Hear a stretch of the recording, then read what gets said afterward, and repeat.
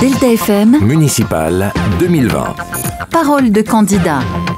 Bonjour à tous, merci d'être avec nous sur Delta FM. Vous le savez, hein, tout au long de ces prochaines semaines, nous allons vous faire vivre de l'intérieur, dans les coulisses, les municipales de mars prochain. Nous sommes aujourd'hui avec notre partenaire Rémi Foulon du Journal des Flandres. Bonjour Rémi. Bonjour Cyril, bonjour à tous. Et la candidate du jour, c'est Isabelle Desremaux d'Ourergue. Bonjour. Voilà, c'est parti donc pour cette nouvelle émission Parole de candidat. Delta FM, municipal 2020. Parole de candidat. Isabelle Desremaux qui euh, représente la liste Berg, une passion à partager. Vous êtes sur la, la continuité hein, de, de ce qui était fait avec Isabelle, euh, avec euh, Sylvie, Sylvie Brachet. Présentez-nous, présentez-vous un petit peu là en, en quelques minutes. Alors en quelques minutes, j'ai donc 57 ans, j'habite Bergue depuis 1986. Je suis enseignante, même si en tant qu'enseignante, j'ai aussi assuré des directions d'établissements scolaires et qu'actuellement j'assure le suivi des jeunes décrocheurs dans le diocèse de Lille. Rémi. Pourquoi ça a pris autant de temps de trouver un, un successeur à Sylvie Brachet au sein du groupe majoritaire? Vous avez déclaré votre candidature en fin d'année dernière. Alors, les choses ne se sont pas faites de cette manière-là. C'est en fait tout simplement, Sylvie a voulu une continuité, donc elle a d'abord constitué l'équipe. Et c'est une équipe qui travaille ensemble depuis maintenant euh, un an, qui se réunissait régulièrement. Le but était vraiment au niveau de l'équipe de travailler ensemble, de trouver euh, nos valeurs, trouver ce qui nous rassemblait, de commencer à bâtir le projet. Et à un moment donné, c'est poser la question de l'équipe, qui est le mieux à même de représenter l'équipe. Au point de départ, euh, celui qui avait justement mené les réunions avec Sylvie, c'était Fabien Sauret. Et Fabien, euh, au mois de novembre, euh, pour des raisons professionnelles, personnelles, a préféré du coup rester adjoint et pas forcément, dans ce cas-là, prendre la responsabilité de la liste. Donc quand on m'en a parlé, je vous avoue que moi, au point de départ, c'était non. Non. Plusieurs fois non. Et puis finalement, euh, au mois de novembre, ça a été... je ne dis pas oui, mais je ne dis pas non, à condition que la liste soit bien d'accord, que l'ensemble des colistiers soient d'accord, et surtout que ce ne soit pas, euh, voilà, que ma présence ne soit pas euh, un poids pour la liste. Que le et comme j'étais plus disponible au niveau temps, euh, j'avais bien réfléchi aussi à ce que signifiait être maire. Donc dans ce cas-là, voilà pourquoi j'ai accepté. Mais la différence peut-être avec d'autres listes ailleurs en France, hein, c'est que nous, c'est pas une personne qui est allée chercher les autres, c'est l'ensemble, c'est un ensemble de personnes qui s'est réuni et qui, en se réunissant, à un moment donné, a dit il faut un numéro un sur la liste. Alors Voilà. tout au long de cette euh, émission, vous allez évidemment pouvoir présenter euh, votre programme. On va revenir sur quelques dossiers euh, d'actualité avec bon, celui qui rythme la vie euh, de Berg et du secteur depuis euh, pas mal de temps maintenant. C'est euh, cette fameuse zone de la Croix-Rouge là qui est appelée à se développer à côté de, de Quadipre. Sylvie Brachet, on le sait évidemment, était contre ce projet. Vous êtes sur la même ligne? Exactement. Exactement, puisque de toute façon, nous, Berg est un écrin de verdure et il doit le rester. Et Berg est un lieu où l'on vit, un lieu où un commerce local est dynamique. Et il est important pour nous de préserver à la fois cet espace naturel, ce lieu de vie et surtout le commerce local et la proximité. Si je me fais un petit peu à l'avocat du diable, potentiellement cette zone, ça doit aussi apporter de, de l'emploi, beaucoup d'emplois. euh, vous dites non Hum, Il y a d'autres façons d'obtenir des emplois. Euh, le pluie euh, de la communauté de communes des Hauts-de-France, euh, des Hauts-de-Flandre, pardon, euh, vient aussi d'être euh, retoqué. C'est qu'il y a eu un souci aussi avec celui de Berck, parce que vous étiez déjà contre ce, pluie qui finalement donc, bah, voilà, a été refusé euh, par l'État. Pour vous, la meilleure solution pour euh, ce plan local d'urbanisme, on rappelle hein, pour les auditeurs qui ne savent pas ce que c'est, un pluie, c'est vraiment ce qui permet voilà, de savoir dans les prochaines années où il y aura de nouvelles constructions, où il y aura de, de euh, de nouvelles industries. Enfin, c'est vraiment voilà, le, plan, ça porte bien son nom, c'est le plan local d'urbanisme. Euh, un plan local d'urbanisme, doit être fait en fonction des personnes, en fonction, et je pense qu'actuellement, euh, de l'environnement, c'est quand même d'actualité, justement, et puis en fonction de, pas forcément de l'intérêt personnel de chacun, de l'intérêt collectif. Je pense aussi que à un moment donné, il reste pas grand-chose à préserver, et il est donc important de travailler sur l'existant et pas forcément de construire de nouvelles choses. Isabelle euh, Desremaux, qui est donc euh, avec nous euh, aujourd'hui, candidate à Bergue avec la liste Une passion à partager. Nous sommes toujours avec notre confrère Rémi Foulon du Journal des Flandres. Euh, dans votre liste, on retrouvera Sylvie Brachet. donc, Oui, qui a décidé de poursuivre l'aventure avec vous. C'est plus facile ou c'est plus compliqué quand on, de faire campagne quand on, on compte dans sa liste celle qui a été maire pendant 12 ans à Bergue? C'est facile. Je vais même dire c'est très facile dans la mesure où Sylvie a vraiment vécu passionnément ces 12 années et c'est elle qui cherche justement à assurer la continuité. Donc elle, est, elle nous transmet les dossiers, elle nous donne les explications dans une équipe qui est très dynamique et qui est souvent euh, euphorique et pleine de projets. L'intérêt d'avoir et Sylvie et les adjoints permet aussi de nous dire, ben voilà, doucement, euh, là, euh, il y a du faisable, il y a du moins faisable. Non. Et puis, euh, moi, j'ai besoin de ses conseils. Et je pense qu'elle, à chaque fois qu'elle vient aux réunions, je pense qu'elle apprécie le dynamisme et l'enthousiasme de l'équipe. Parce que d'avoir euh, Fabien euh, Sorek, qui va- là aussi va représenter la continuité. Je rappelle qu'il était adjoint euh, Oui, à la à culture. et voilà, ça fait d'ailleurs partie, on va commencer à, à parler de, de votre programme, partie culturelle qui est, qui est très importante, valorisation du, du patrimoine de Berck. C'est ce qu'on retrouve. Alors, valorisation du patrimoine de Bergue, qu'il soit donc naturel, qu'il soit historique, qu'il soit monumental, qu'il soit, voilà, même, j'ai envie de dire, ce qu'on appelle le patrimoine. Ah, j'ai perdu le terme. Vous savez, euh, à l'UNESCO. patrimoine mondial de l'UNESCO? Oui, oui, non, mais c'est voilà. Non, bah, c'est pas grave. Le donc oui, l'importance pour nous de préserver ce patrimoine, de le mettre en valeur, mais surtout de permettre à tous, quel que soit, euh, quelle que soit sa vie, quel que soit son niveau de vie, quelles que soient ses envies, permettre à tous d'accéder justement aux bienfaits de ce patrimoine. Qu'est-ce que ça veut dire, alors justement, le, le valoriser, ce, ce patrimoine? Qu'est-ce que vous avez proposé? Il y a pas mal de choses qui ont été faites, évidemment, avec bien sûr le. Alors, on va travailler euh, encore plus sur euh, la mise en valeur de, des fortifications, de l'espace des remparts.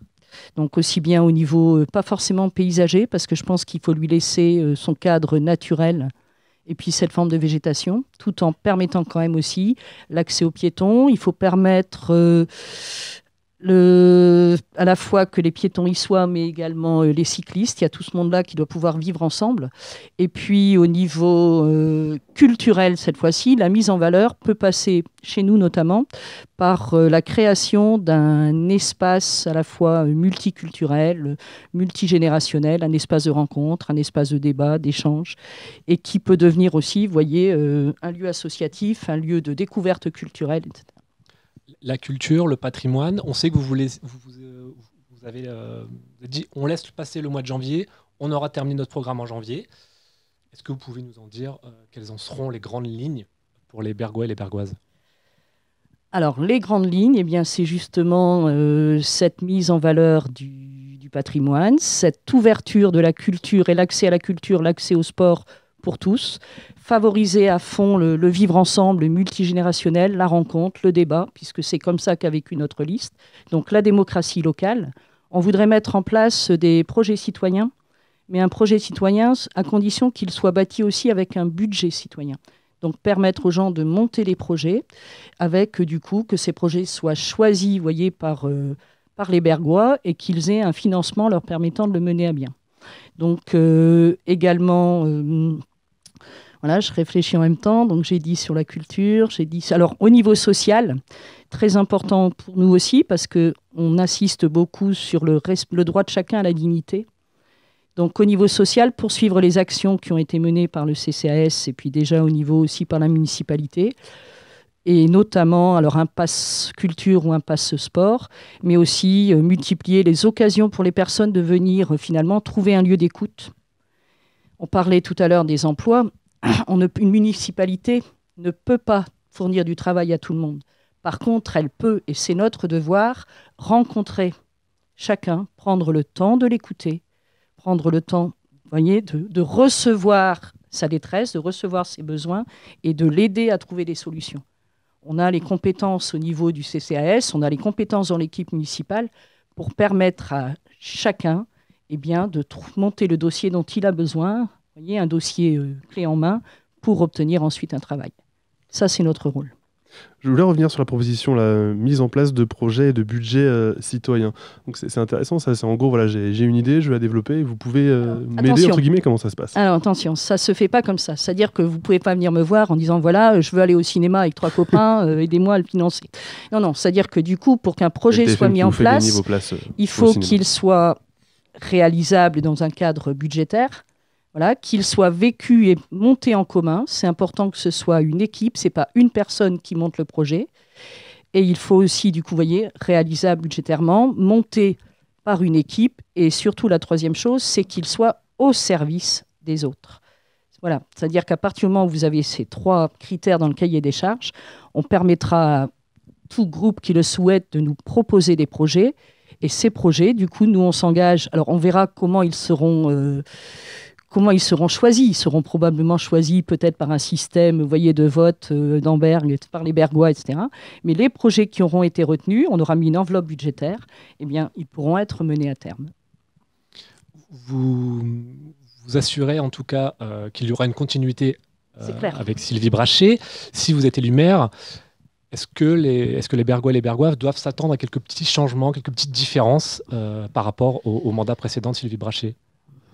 Les changements viendront, je pense, euh, ils se feront dans la douceur, ils viendront du dynamisme de l'équipe. Vous savez, euh, on n'est pas au bord de la mer à Bergue, mais il y a des canaux. Et finalement, je pense qu'une mairie, qu'une ville, eh bien, c'est un bateau. Simplement, la chance que nous avons, nous, c'est que nous allons, le bateau est en marche, il avance, il avance bien, et du coup, nous allons simplement euh, changer de pilote, mais en aucun cas, il est question de faire bouger, changer de bord au bateau. Et c'est sûr qu'à un moment donné, euh, Isabelle euh. Desromeaux, qui est toujours avec nous, candidate à Berg sur la liste Une passion à partager. Quelques questions euh, d'actualité, vous pouvez répondre, bon, une mauvaise idée. Euh, limiter le nombre de mandats pour un maire, est-ce que c'est une bonne, une mauvaise idée pour vous? Pour moi, c'est une très bonne idée parce que je pense surtout De mandats de mandats, oui, parce qu'après, je pense qu'on est usé. Et l'autre chose aussi, c'est qu'il est hyper important de proposer à chacun de s'investir dans la démocratie locale. Donc, il ne faut pas que ces postes-là, que ces fonctions soient réservées à quelques-uns. Il faut multiplier les possibilités pour chacun de s'investir dans ce qu'est la démocratie locale. Les fusions de communes, est-ce que ça peut être une bonne, une mauvaise idée hein? Au niveau de Berg, c'est à réfléchir. C'est pas forcément pour l'instant une bonne idée. Nous, on est d'abord voilà Berg. On, Et- évoquait, on évoquait il y a quelques années euh, peut-être un, un rapprochement entre la communauté urbaine de Dunkerque et Berg. Est-ce que ça peut, pour vous, être une bonne idée? Est-ce que ça peut être une, une voie à suivre? On en a beaucoup Politiquement, on sait que c'est un petit peu compliqué Voilà, avec la CCHF on en a euh, beaucoup Berg. parlé hier. On sait très bien que pour l'instant, ça n'est pas d'actualité, mais il faut laisser les choses évoluer et on prendra la discussion quand elle viendra. Mais pour l'instant, ça n'est pas d'actualité. on, on sait que les tensions avec la CCHF sont parfois tendues avec Berg. Est-ce que si vous êtes élu, est-ce que euh, vous repartez de zéro? Ou alors là encore, on, on assure la continuité euh, Sylvie Brachet comment ça, va, comment ça va se passer? Euh, moi, j'ai pour principe d'étudier les dossiers pour, faire mon, pour me faire une opinion personnelle. Et c'est à partir du moment où j'aurai étudié ces dossiers que je pourrai prendre la parole. Mais pour connaître les dossiers, il me faudra probablement l'aide de Sylvie, il me faudra des regards extérieurs, mais c'est certain qu'au départ, je ne vais pas intervenir si je ne suis pas réellement au courant des dossiers. Donc ça, à la fois, je pense, la continuité et puis une position de Berg qui reste affirmée, mais également euh, l'humilité du départ de la personne qui ne connaît pas tout. Il nous reste une minute dans cette euh, émission Parole de candidat, mais on va peut-être vous la laisser justement cette, euh, cette minute, quelque chose qui vous tient euh, à cœur. On en parlait justement avant cette émission. Rappelez voilà, que une passion à partager, c'est une équipe. Là, vous disiez, mais non, mais j'ai pas envie de parler toute seule, j'ai envie qu'il y ait quelqu'un à côté de moi. Techniquement, voilà, c'était pas, c'était pas évident, mais Voilà. voilà, vous êtes vraiment une équipe. Tout à fait, nous sommes réellement une équipe, c'est une, c'est vraiment notre force, c'est c'est un véritable bonheur que de travailler à 27, une équipe qui s'est composée de façon très progressive, qui est très complémentaire, aussi bien euh, au niveau âge, au niveau profession, au niveau motivation, au niveau compétences. Et je le répète, je l'ai dit tout à l'heure, moi j'ai accepté d'être le numéro un sur la liste, d'être éventuellement le porte-parole. J'ai accepté euh, de mener cette équipe, mais je ne mènerai pas mon mandat toute seule.